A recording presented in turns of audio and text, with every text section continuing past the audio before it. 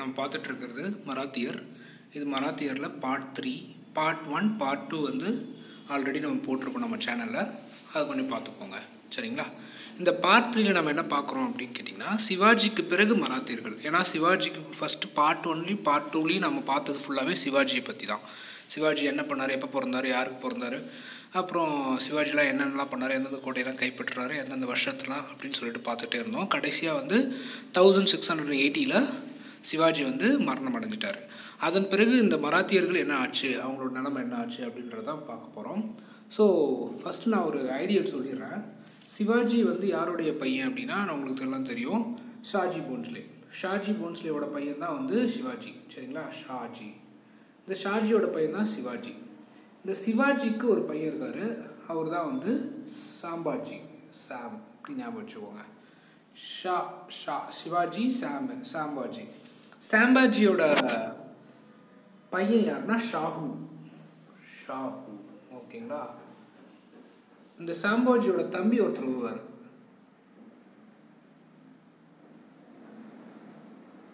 ராஜாராம் அப்படின்னு சொல்லிட்டு. இதுக்கப்புறம் இந்த ராஜாராமுக்கு ரெண்டு ஒய்ஃப் இருப்பாங்க. தாராபாய் அப்படின்னு சொல்லிட்டு. தாராபாய் ராஜாபாய் அப்படின்னு சொல்லிட்டு. இதெல்லாம் ஞாபகம் வச்சுக்கோங்க. சொன்னதெல்லாம் ஞாபகம் வச்சுக்கோங்க. ஷா ஷாஜி போன்ஸ்லேயோட பையன் தான் வந்து சிவாஜி. சிவாஜியோட பையன் தான் வந்து சாம்பாஜி. சாம்பாஜியோட பையன் தான் ஷாஹு. இதுக்கப்புறம் சிவாஜிக்கு ஒரு தம்பி இருப்பார் ராஜாராம். ராஜாராமுக்கு ரெண்டு ஒய்ஃப் தாராபாய் ராஜாபாய். இதை மட்டும் ஞாபகம் வச்சுக்கோங்க. ஸோ இப்போ மறுபடியும் சொல்கிறேன் பாருங்கள் ஃபஸ்ட்டு ஷாம்போஜி சிவா. அப்புறம் ஷா ஷாம்போஜி ஷாஜி போன்ஸ்லே ஷாஜி போன்ஸ்லேயோட பையன் தான் வந்து சிவாஜி. சிவாஜி சிவாவுக்கு அப்புறம் வந்து சாமு. சாமுக்கு அப்புறம் ஷாஹு. ஷாஹு. ஓகேங்களா? அந்த சாம்பாஜிக்கு வந்து தம்பி ஒருத்தர் இருப்பார் ராஜா ராம். ராம். ராஜாராமுக்கு ரெண்டு ஒய்ஃபு தாராபாய் ராஜாபாய். ஓகேங்களா? ராஜாபாயோட பையன் தான் வந்து செகண்ட் சாம்பாஜி இரண்டாம் சாம்பாஜி. ஓகேங்களா? இரண்டாம் சாம்பாஜி. ஓகேங்களா? அப்புறம் இந்த ஷாஹுவோட பையன் யார் அப்படின்னா அதாவது இந்த ஆமாம் ஷாஹுக்கு ஒரு பையன் வருவார் அதையும் நம்ம பார்க்கலாம். சரிங்களா? ஃபஸ்ட்டு கவனிங்க இது வரைக்கும் தெரிஞ்சுக்கோங்க இதுக்கு முன்னாடி. ஸோ சிவாஜி மறைந்த ஓராண்டுக்கு பிறகு அவரது மூத்த மகன் சாம்பாஜி மராத்திய இராணுவத்திற்கு தலைமையேற்று முகலாய பகுதிக்குள் நுழைந்து பேராரில் பகதூர்பூரை கைப்பற்றி அங்கிருந்து சொத்துக்களை கைப்பற்றினார். எந்த ஊரில் அப்படின்னா பேராரில் இருக்கக்கூடிய பகதூர்பூர் ஞாபகம் வச்சுக்கோங்க பேராரில் பகதூர்பூர் ஓகேங்களா? பேராரில் பகதூர்பூர் இந்த பேரார் எங்கே இருக்குது அப்படின்னு கேட்டி பீ பேரார் வந்து இந்த பீஜாப்பூர் பக்கத்தில் இருக்குது இந்த பேரார்லாம் யாருடைய கண்ட்ரோலில் இருக்கும் அப்படின்னு கேட்டிங்கன்னா அவுரங்கசீப்போட கண்ட்ரோலில் இருக்கும். இப்போது இந்த பகதூர்பூரை வந்து இந்த சாம்பாஜி கைப்பற்றதுனால என்ன ஆச்சு அப்படின்னு கேட்டிங்கன்னா அவுரங்கசீப்புக்கு கோவம் வந்துடும் எப்படி வந்து எங்களுடைய இடத்த அவர் வந்து பிடிக்கலாம் அப்படின்னு சொல்லிட்டோன்னே அவர் என்ன பண்ணுவார்? ராஜபுத்திர அரசர்கள் இந்த ரா ராஜஸ்தான் பக்கத்தில் இருக்கக்கூடிய ராஜ்புட் அரசர்கள் கூட அவங்க கூட்டு சேர்ந்து என்ன பண்ணுவார் அப்படின்னு கேட்டிங்கன்னா இந்த சாம்பாஜியை வந்து சிறைப்பிடிச்சிடுவார் எந்த வருஷம் அப்படின்னு கேட்டிங்கன்னா thousand six hundred and eighty நைனில் ஞாபகம் வச்சுக்கோங்க.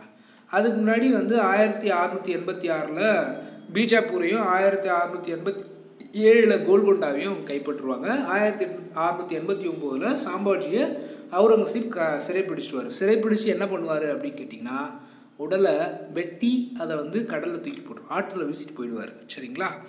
ஸோ அவர் மோசமானவர் அவுரங்கசீப். அவர்கிட்ட மாட்டக்கூடாது. ஸோ அவர்கிட்ட மாட்டிட்டாரு. சாம்பாஜி வந்து என்ன பண்ணுறாங்க உடல் சிதைக்கப்பட்டு பின்னர் ஆற்றில் வீசப்பட்டது. சாம்பாஜி மறைவு மராத்திரியை முடி முடக்கி விடவில்லை. அவருடைய இளவல் இளவல்னா அவரோட தம்பி ராஜாராம். ராஜாராம் செஞ்சிக்கோட்டையிலேருந்து சண்டையை தொடங்கினார். ராஜாராம் எங்கேருந்து தொடங்குறாரு? செஞ்சிக்கோட்டையில் ஆண்டுட்டு இருக்காரு. ஸோ ஆல்ரெடி பார்த்தோம் நாம். இந்த சாம்பாஜி வந்து ஸோ முன்னாடியே பார்த்தோம் நம்ம ஸோ தமிழ்நாட்டில் தஞ்சாவூர் பகுதியில் ஒருத்தர் வராருன்னு சொல்லிட்டு அதை பார்க்கலாம். சரிங்களா? அந்த சாம் ராஜாராம் எங்கேருந்து வராரு? செஞ்சிலேருந்து வராரு. செஞ்சிலேருந்து சண்டையை தொடங்குறாரு. இந்த மோதலை மோதல் பல ஆண்டுகள் நீடித்தது. ராஜாராம் ஆயிரத்தி எழுநூறில் மரணம் அடைந்த பிறகு அவரது மனைவி தாராபாய் சொன்னா இல்லையா? ராஜாராமுக்கு ரெண்டு மனைவி இருக்காங்க. ஒன்று ஒருத்தர் வந்து தாராபாய் இன்னொருத்தவங்க ராஜாபாய். ஓகேங்களா? தாராபாய் வந்து இவங்க வந்து இப்போ ஆட்சிக்கு வராங்க. யாருக்கு? யாருக்கு அப்புறம்? ராஜாராமுக்கு அப்புறம் தாராபாய் வராங்க. இப்போ தாராபாய்க்கு ஒரு கை குழந்தை இருக்குது கை கைக்குழந்தை சார்பாக கொள்ள செயல்பட்ட தாராபாய் ஐம்பதாயிரம் வீரர்கள் அடங்கிய குதிரைப்படை மற்றும் காலாட்படை ஹைதராபாத் அரசுக்கு எதிராக போர் தொடுக்க பணித்தார். ஐம்பதாயிரம் வீரர்கள் ஐம்பதாயிரம் வீரர்கள் அடங்கிய குதிரைப்படை மற்றும் காலாட்படை ஹைதராபாத் அரசுக்கு எதிராக போர் தொடுக்க பணித்தார். அதன் விளைவாக தலைநகர் சூறையாடப்பட்டது. தலைநகர்னா எது? ராய்கர் இருக்கு இல்லைங்களா?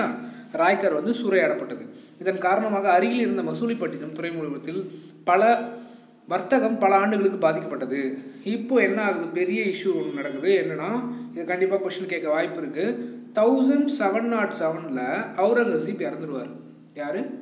அவுரங்கசீப் அவுரங்கசீப் வந்து இறந்துருவார் தௌசண்ட் செவன் நாட் செவனில் இவர் இறந்தப்பட்டு இறந்ததுக்கப்புறம் என்ன ஆகும் அப்படின்னா பல கோட்டைகள் கொத்தளங்களை தங்களுடைய கட்டுப்பாட்டுகள் வந்து வைத்து கொள்ளப்பட்டது. அதாவது யாருடைய கட்டுப்பாட்டுனா மராத்தியர் கட்டுப்பாட்டில் வந்துருச்சு.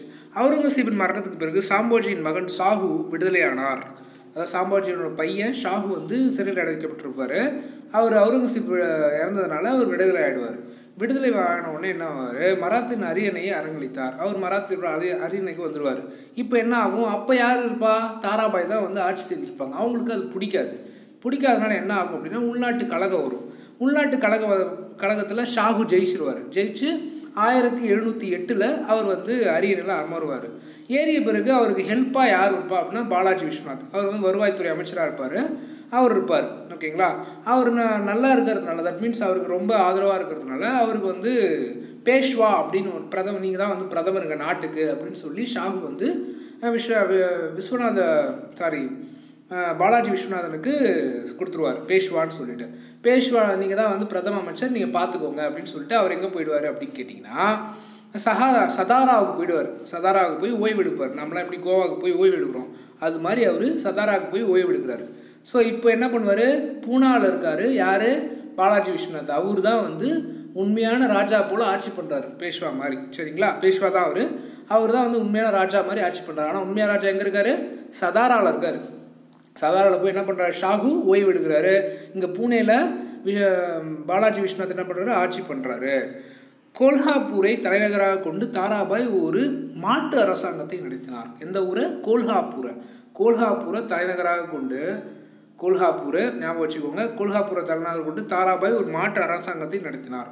ராஜாராமின் இரண்டாவது மனைவி ராஜாபாய் அவரது மகன் இரண்டாம் சாம்பாஜி தாராபாய் மற்றும் அவரது மன் மகன் ஆகியோரை ஆயிரத்தி எழுநூற்றி பதினாலில் சிறைப்பிடித்தனர் இங்கே இப்போ தான் வராங்க. ரெண்டாவது ஒய்ஃபு யாருக்கு? ராஜாராமுக்கு ரெண்டாவது ஒய்ஃபு யார்? ராஜாபாய். இந்த ராஜாபாயோட பையன் தான் யார் அப்படின்னா இரண்டாம் சாம்போஜி இந்த இரண்டாம் சாம்போஜியும் ராஜாபாயும் சேர்ந்து தாராபாயையும் அவங்க பையனையும் சிறைப்பிடிச்சிடுறாங்க. இந்த வருஷம் ஆயிரத்தி எழுநூற்றி பதினாலில். இப்போ இரண்டாம் சாம்போஜி வந்து என்ன பண்ணுறாரு கொல்ஹாப்பூரில் அரையணை ஏறுறாரு. ஓகேங்களா? இப்போ ஷாஹுவின் அதிகாரத்தை அவர் ஏற்க வேண்டியிருந்தது. யார்? இரண்டாம் சாம்போஜி வந்து சம்போஜி வந்து ஷாகுவோட அது. ஏன்னா ஷாகு தான் உண்மையான அரசர் இல்லைங்களா? இப்போ ஷாகு என்ன பண்ணுறாரு ஆயிரத்தி எழுநூற்றி நாற்பத்தொம்போதில் இறந்து போகிறாரு இறந்து போனதுக்கப்புறம் அவரோட பையன் யாருன்னா ராமராஜா. யார்? ராமராஜா. ஷாகுவோட பையன் வந்து ராமராஜா. இந்த ராமராஜா வந்து பேஷ்வாக்களுடன் ஒரு உடன்படிக்கை வருது. ஏன்னா பேஷ்வாக்கள் அப்போ கிள கிளர்ச்சி ஏற்படுத்துவாங்க. நாங்கள் தான் வரணும் அடுத்த அரசரை நாங்கள் தான் வரணும் அப்படின்னு சொல்லிட்டு. ஏன்னா பாலாஜி விஸ்வநாத் இருக்கார் இல்லையா? அவரோட பையனாக வந்துடுவாங்க ஸோ வந்தவுடனே இவங்களுக்கு உங்களுக்கு ஒரு ச ஒரு ஒப்பந்தத்தை எட்டி உடனே ஸோ இந்த ராமராஜா என்ன பண்ணுவார்? தலைமை பொறுப்பை அடைஞ்சிருவார். தாராபாய் இதனால் ஏமாற்றம் அடைஞ்சிருவாங்க. ஏன்னா தாம தாராபாய் அப்பயும் உயிரோடு இருப்பாங்க. உயிரோடு இருந்து நமக்கு எங்கே கொடுக்கலையே அப்படின்னு சொல்லிட்டு ஏமாற்றம் அடைஞ்சிருவாங்க. ஆயிரத்தி எழுநூற்றி அறுபத்தி ஒன்றில் தாராபாய் மற்றும் ஆயிரத்தி எழுநூற்றி எழுபத்தி ஏழில் ராமராஜா இருவரும் ம மரணம் அடைந்தனர் ராமராஜாவின் தத்து புலவரான இரண்டாம் ஷாஹு ஞாபகம் வச்சுக்கோங்க. யார்? ஷாகுவோட பையன்தான் வந்து ராமராஜா. ராமராஜாவோட பையன்தான் வந்து இரண்டாம் ஷாஹு தத்து பிள்ளை இந்த இரண்டாம் ஷாஹு வந்து ஆயிரத்தி எட்நூற்றி எட்டில் மரணம் அடையும் வரை பெயருக்கு மன்னராக ஆட்சி புரிந்தார். அப்போ உண்மையான ஆட்சி யாருங்க புரிஞ்சா அப்படின்னு கேட்டிங்கன்னா ஆல்ரெடி நம்ம சொன்ன மாதிரி தான் பேஷ்வாக்கள் தான் ஓகேங்களா? ஆயிரத்தி எட்நூற்றி எட்டு வரை ரெண்டாம் சாம்போஜி சாகு இருக்காரு. அவர் இருக்கிற வரைக்கும் அவர் ஒரு பேரளவுக்கு மன்னராக இருக்கார். மீதி உண்மையான மன்னர்கள் யார் அப்படின்னா பேஷ்வாக்கள் தான் சரிங்களா? ஸோ இவருக்கு அப்புறம் யார் ஆட்சிக்கு வரா அப்படின்னா இரண்டாம் ஷாஹுவோட பையன் பிரதாப் சிங். பிரதாப் சிங் வந்து அரியணை ஏறுறாரு. அதற்கு இந்த பிரதாப் சிங் என்ன பண்ணுறாரு அப்படின்னா பிரிட்டிஷ் அரசாங்கத்திற்கு எதிராக சதி செய்கிறாருன்னு சொல்லிட்டு பிரிட்டிஷ் அரசாங்கம் நினச்சி ஆயிரத்தி எட்நூற்றி முப்பத்தி ஒம்போதில் இவர் இவரை வந்து அரியணையிலேருந்து இறக்கிடுவாங்க.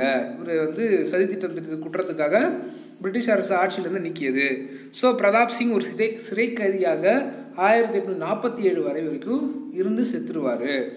இவரோட இவரோட தம்பி பிரதாப் சிங்கோட தம்பி இரண்டாம் ஷாஹுவோட பையன் பிரதாப் சிங்கு. பிரதாப் சிங்கோட தம்பி தான் யார் அப்படின்னு கேட்டிங்கன்னா ஷாஜி அப்பா ஷாஹிப் ஷாஜி அப்பா ஷாஹிப். இரண்டாம் ஷாஜி இரண்டாம் ஷாஜின்னு சொல்கிறாங்க இவரை.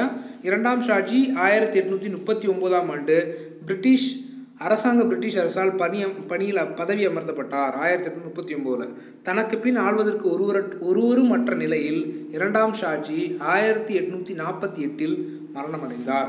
ஸோ கடைசி அரசர் யார்? மராத்தா அரசர் அப்படின்னு கேட்டால் இரண்டாம் ஷாஜி. எந்த வருஷம் அப்படின்னு கேட்டிங்கன்னா ஆயிரத்தி எட்நூற்றி நாற்பத்தி எட்டு. சரிங்களா? இதுதான் இப்போ சிவாஜிக்கு அப்புறம் வந்தவங்க எல்லாருமே. ஸோ அடுத்தது சிவாஜி ஆட்சியின் மராத்திய நிர்வாகம். மத்திய அரசு. மத்திய அரசை பற்றி சொல்கிறாங்க இதில் என்னென்னலாம் பார்க்க போகிறோம்னா மத்திய அரசு மாகாண அரசு வருவாய் நிர்வாக அமைப்பு. அப்புறம் வ வரிகள் என்ன மாதிரிலாம் வரி வசூலிச்சாங்க அது இராணுவ அமைப்பு நீதி இப்படி இருக்குன்னு பார்க்கலாம். சரிங்களா? இப்போ ஃபஸ்ட்டு என்ன அப்படின்னா மரா மத்திய அரசு. சிவாஜி பெரிய போர் வீரர் மட்டுமல்ல ஒரு நல்ல நிர்வாகியும் கூட. நமக்கு தெரிஞ்ச விஷயந்தான் அன்றாட நிர்வாகத்தில் தனக்கு உதவுவதற்காக ஒரு ஆலோசனை சபையை அவர் வைத்திருந்தார். அதுக்கு பேர் என்ன அப்படின்னா அஷ்டப்பிரதான். அஷ்டம்னா என்ன? எட்டு. அஷ்டப்பிரதான் அஷ்டஜி கஜங்கள் நவரத்னா இதெல்லாம் ஞாபகம் வச்சுக்கணும். அஷ்டப்பிரதான்னா யார் அப்படின்னா மராத்தியர்கள் சிவாஜி காலம். சரிங்களா? நவரத்னங்கள் அப்படின்னா யார்? நவரத்னங்கள்னா யார்? இரண்டாம் சந்திரகுப்தர். அஷ்டஜிக் கஜங்கள் அப்படின்னா வந்து யார்? கிருஷ்ணதேவராயர். இப்படி ஞாபகம் வச்சுக்கணும். ஞாபகம் வச்சுக்கோங்க. அஷ்டப்பிரதான்னா வந்து சிவாஜி. ஸோ அஷ்டப்பிரதான் என்று அழைக்கப்பட்ட இந்த சபையில் எட்டு அமைச்சர்கள் இடம்பெற்று இருந்தனர்.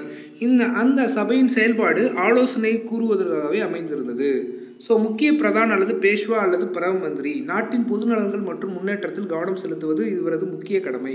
அமத்தியா அல்லது நிதியமைச்சர். அரசின் அனைத்து பொது கணக்கையும் ஆராய்ந்து ஒப்புதல் கையொப்பமிடுவது இவர் வேலை. வாக்கியன் ஆபீஸ் அல்லது மந்திரி. அரசரின் நடவடிக்கைகள் மற்றும் நீதிமன்ற நடவடிக்கைகளை ஆவணங்கள் வடிவில் பராமரித்தார். சுமந்த் அல்லது டாபீர். டாபீர் அப்படிலாம் சுபீர்னு சொல்லுவாங்க. சுமந்த் அல்லது சுபீர் இல்லை டாபீர் அல்லது வெளியுறவு செயலாளர். மன்னருக்கு போர் மற்றும் அமைதி குறித்து அனைத்து விஷயங்களிலும் ஆலோசனைகளை வழங்கினார். பிற நாடுகளின் தூதர்களையும் பிரதிநிதிகளையும் வரவேற்கும் பொறுப்பையும் ஏற்றிருந்தார். சச்சிவ் அல்லது சுருனாவிஸ். சச்சிவ் அல்லது சுருனாவிஸ் அல்லது உள்துறை செயலர். உள்துறை அமைச்சர் வேற உள்துறை செயலர் வேற பார்த்துக்கோங்க. அரசின் அன்றாட கடித போக்குவரத்தை கவனித்து கொண்டதோடு வரைவுகளையும் திருத்தும் அதிகாரமும் கொண்டிருந்தார். பர்கானாக்களின் கணக்குகள் பர்கானானா என்ன அப்படின்னா கிராமங்கள் சரிங்களா? நான் நிறைய கிராமங்கள் சேர்ந்தது தான் வந்து பர்கானாக்கள். பர்கானாக்கள் கணக்குகளையும் அவர் சரிபார்த்தார். பண்டிட்ராவ் அல்லது தன தனத்தியக்ஷா தனத்தியக் தனத்தியக்ஷா அல்லது சதர் அப்படின்னு சொல்கிறாங்க அல்லது முதாசிஃப் அல்லது மத தலைவர் என்பவர் மதம் தொடர்பான சடங்குகளுக்கு தான தன்மர்களுக்கும் பொறுப்பேற்றிருந்தார். சமூக திட்டங்கள் மற்றும் பொழுது ஒழு பொது ஒழுக்க நடவடிக்கைகளை நெறிப்படுத்துவதற்கு அவர் நீதிபதியாக இருந்தார். பார்த்துக்கோங்க இது முக்கியமானது. இதில் இருந்து கொஷின் கேட்க நல்லா வாய்ப்பு இருக்குது மறுபடியும் சொல்கிறேன் அதாவது நம்ம தெரியும் பேஷ்வானா யார் பிரதம மந்திரி அப்படின்னு சொல்லிட்டு அடுத்து அமர்த்தியானா யார் அப்படின்னா நிதி அமைச்சர் ஓகேங்களா? அமர்த்தியாசன் ஞாபகம் வச்சுக்கோங்க நிதி அமைச்சர் ஏன்னா அவர் தான் எக்கனாமிக்ஸில் வருவார் அமர்த்தியாசன் நிதி அமைச்சர் அடுத்தது வாக்கிய நவீஸ் வாக்கிய நவீஸ் வாக்கியம் சொன்னதை செய்வார். வாக்கிய நவீஸ் தான் யார் நம்ம நாட்டில்? நம்ம நாட்டில் வந்து முக்கியமான மந்திரி ஹோம் மினிஸ்டர் அமித்ஷா இருக்கார் இல்லையா? சொன்னதை செய்வார். அந்த மாதிரி தான் வாக்கிய ரவிஸ் வாக்கியம். அடுத்து சுமந்த் அல்லது சுபீர் அல்லது டபீர். சுமந்த் அல்லது சுபீர் அல்லது டபீர். சுமந்த் இப்போ நம்ம ஊரில் யார் வெளியுறவுத்துறை அமைச்சர்? அதான் இவர் இருக்கார் இல்லைங்களா? ஜெய் ஜெய்சங்கர்.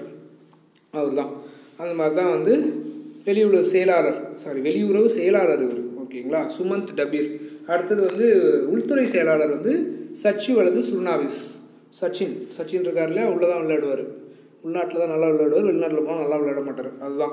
உள்துறை அமைச்சர் சச்சிவ். சச்சிவ் ஆர் சுர்னாவிஸ் பண்டிட் ராவ் பண்டிட் ராவ் அப்படின்னாவே வந்து பண்டிட் அப்படின்னாவே மதம். மதங்கள் ஓகேங்களா? ஞாபகம் வச்சுக்கோங்க. முக்கியமானது.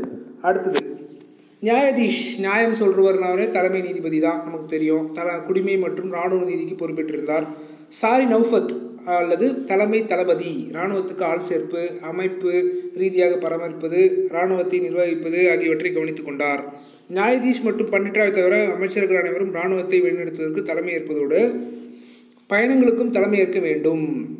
ஞாபகம் வச்சுக்கோங்க நியாயாதீஷும் பண்டிட்ராவ் நியாயாதீஷனா தலைமை தளபதி பண்டிட்ராவ் வந்து மத தலைவர் இவங்க ரெண்டு பேரை தவிர மற்றவங்க எல்லாருமே என்ன பண்ணணும் அப்படின்னு கேட்டிங்கன்னா அதாவது இராணுவத்துக்கு தலைமை வகிக்கணும். மற்றும் பயணங்களுக்கு தலைமை ஏற்க வேண்டும். அனைத்து அரசு கடிதங்கள் ஆவணங்கள் ஒப்பந்தங்கள் ஆகியன அரசர் பேஷ்வா ஆகியோரின் லட்சணையும் மற்றும் தனத்தியாக்ஷா நியாயதிக்ஷா சேனாபதி தவிர்த்த நான்கு அமைச்சர்களின் ஒப்புதலையும் பெற வேண்டும். பல அமைச்சர்களின் கீழ் பதினெட்டு அரசு துறைகள் இருந்தன. ஓகேங்களா? பல அமைச்சரின் கீழ் எத்தனை அரசு துறைகள் இருந்தன? பதினெட்டு அரசு துறைகள் இருந்தன. இதுதான் வந்து மத்திய அரசு. மாகாண அரசு பார்க்கலாம். நிர்வாக வசதிக்காக சிவாஜி தனது அரசை நான்கு மாகாணங்களாக பிரித்து ஒவ்வொன்றுக்கும் ஒரு வைஸ்ராய் எனப்படும் அரச பிரதிநிதி அமைத்தார் அம அமர்த்தினார். முக்கியமானது இது சிவாஜி எத்தனை பிரிவாக வச்சுருந்தாரு அப்படின்னா மாகாணங்களை நான்கு பிரிவாக வச்சுருந்தாரு. அடுத்து ஃபர்ஸ்ட் ஒன் வந்து பிரசாந்த். பிரா ஆமாம் பிராந்த் பிராந்த்னு சொல்கிறாங்க பிராந்த் எனப்படும் பல பிரத பிரத பிராந்தியங்களை பிரிக்கப்பட்டன. ஜாகீர் வழங்கும் நடைமுறை ஒழிக்கப்பட்டு அனைத்து அதிகாரிகளுக்கும் ரொக்கமாக பணம் வழங்கப்பட்டது. முன்னாடி ஜாகீராக கொடுத்தாங்க இல்லையா? அதெல்லாம் அழிக்கப்பட்டு இப்போ ரொக்கமாக பணமாக கொடுக்குறாங்க. சரிங்களா? அடுத்தது பிராந்த்னா என்ன? பிராந்தியங்கள். ஞாபகம் வச்சுக்கோங்க. ஸோ ஒரு ஒரு குறிப்பிட்ட பகுதியின் வருவாய் உள்ளிட்ட அனைத்து பொறுப்பும் எந்த ஒரு அதிகாரிக்கும் ஒ- ஒதுக்கப்பட்டிருந்தாலும் சொத்துக்கள் மூலமாக கிடைத்த வருவாய் மட்டுமே அவருக்கு உரியது. ஸோ என்னதான் அவங்க வந்து அனைத்து பொறுப்புகளும் வச்சுருந்தாலும் அவங்க சொத்துக்கு மூலமாக வருவாய் கிடைக்கிறது மட்டுமே தான் அவங்களுக்கு உரியது. மற்ற எதுவுமே அவங்களுக்கு உரியது கிடையாது அப்படின்னு சொல்கிறாங்க அதனுடன் தொடர்புடைய மக்களுடன் அந்த அதிகாரிக்கு எந்த தொடர்பும் இருந்ததில்லை. எந்த பதவியும் பரம்பரையானது இல்லை. முக்கியமானது தான் எந்த பரம் எந்த பதவியுமே வந்து பரம்பரை பரம்பரையாக வந்தது கிடையாது. பிராந்தியத்தின் செயல்பாடுகளுக்கான மையமாக மையமாக கோட்டை அமைந்திருந்தது. ஸோ பிராந்தியத்தின் செயல்பாடுகள் எது? கோட்டை தான் வந்து மையம். பாரம்பரியப்படி கிராமம் என்பது நிர்வாக நடைமுறையின் கடைசி அழகாக இருந்தது. கடைசி அழகு எது? நிர்வாக அழகில் கிராமம் தான் ஆமாம் இப்பயும் கிராமம் தான் கிராமத்துல தான் ஆரம்பிக்குது. கிராமம் அப்புறம் வந்து பார்த்திங்கன்னா ஒரு ஊராட்சி ஊராட்சிக்கு அப்புறம் பஞ்சாயத்து பஞ்சாயத்தா? ஆமாம் கிராமம் பஞ்சாயத்து ஊராட்சி டவுன் பஞ்சாயத்து அப்புறம் வந்து நகராட்சி பேரூராட்சி நகராட்சி அப்புறம் வந்து மாநகராட்சி. இப்படி தான் போகுது இல்லையா? அது மாதிரி தான் இப்பயும் கிராமம் தான் அப்பயும் கிராமம் தான் மராத்தியர்கள் காலத்திலும். அடுத்து வருவாய் நிர்வாக அமைப்பு. சிவாஜியின் வருவாய் நிர்வாகம் நியாய நியாயமானதாகவும் உற்பத்தியாளருக்கு சாதகமாகவும் அமைந்திருந்தது. நிலம் அளவீடு செய்யப்பட்டு மதிப்பிடப்பட்டது. மொத்த உற்பத்தியில் அரசின் உரிமைக்காக முப்பது சதவீதம் நிர்ணயிக்கப்பட்டது. அது பணமாகவோ பொருளாகவோ செலுத்தப்பட்டது. ஞாபகம் வச்சுக்கோங்க தேர்ட்டி பர்சன்ட் மொத்த உற்பத்தியில் மொத்த ஜிடிபியில் தேர்ட்டி பர்சன்ட் இப்போ கொடுக்கணும். சரிங்களா? ஆமாம் பின்னர் இந்த வரி நாற்பது சதவீதமாக அறிவிக்கப்பட்டது. ஃபர்ஸ்ட் முப்பது சதவீதம் இப்போ நாற்பது சதவீதம். மொத்த வருவாயில் மொத்த மொத்த உற்பத்தியில் முப்பது சதவீதம் கொடுக்கணும். இப்போ நாற்பது சதவீதம் கொடுக்க வேண்டியதாக இருக்குது ஓகேவா?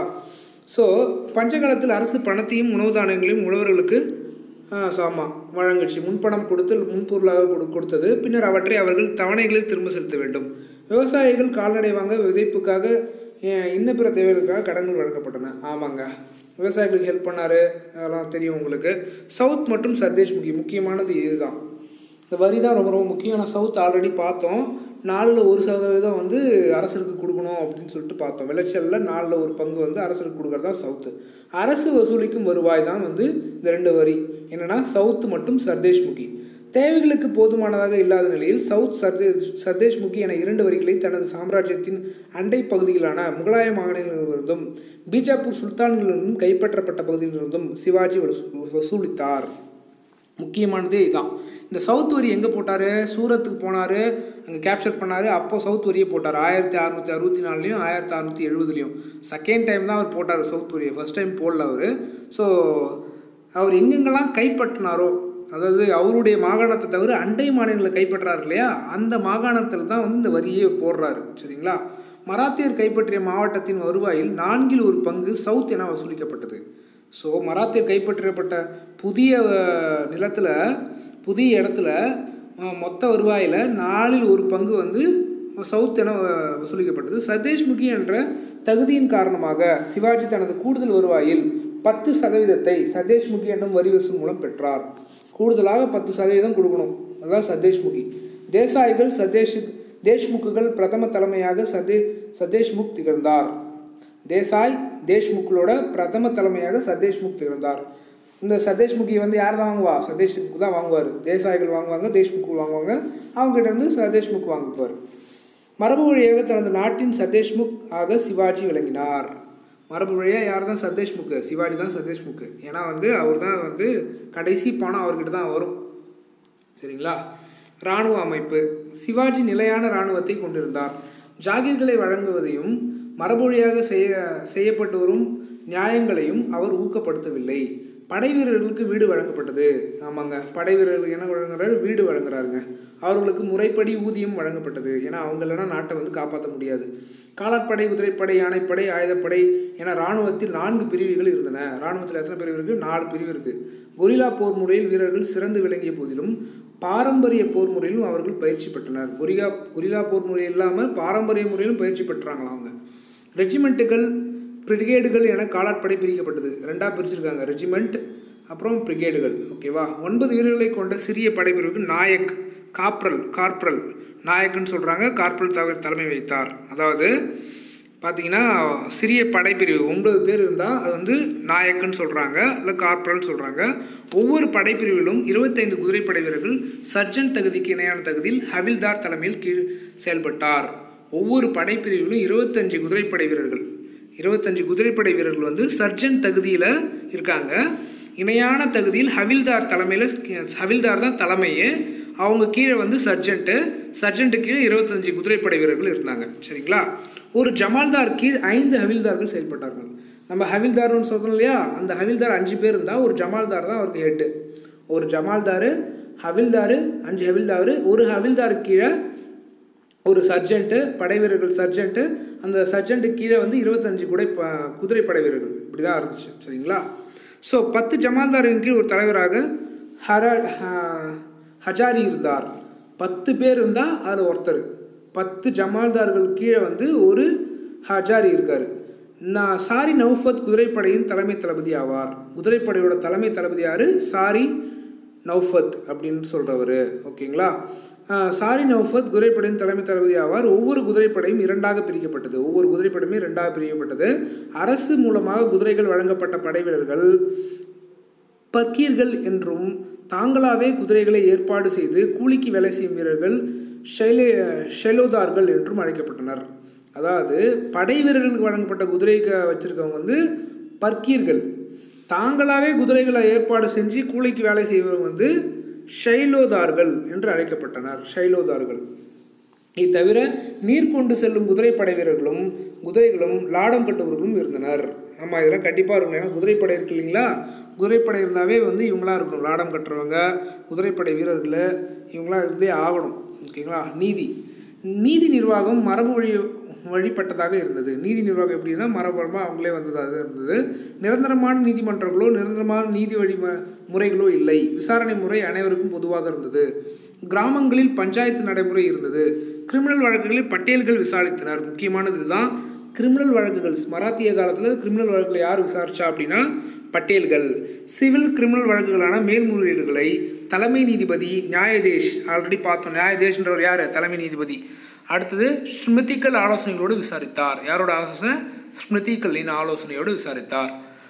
அடுத்தது ஹஜீர் மஜ்லிம் இறுதி முறை மேல்முறையீடு நீதிமன்றாக இருந்தது. ஹஜீர் மஜ்லிம். ஹஜீர் மஜ்லிம்னா என்ன?